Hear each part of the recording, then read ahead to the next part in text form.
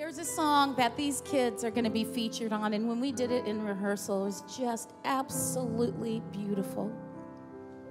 I want you to really, really listen to the words. It's simply called Star of Bethlehem.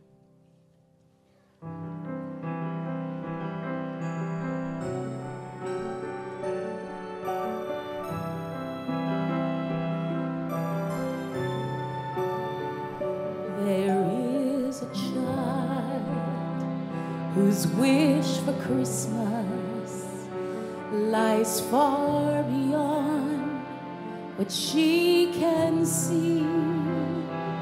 And with the sunrise, she runs to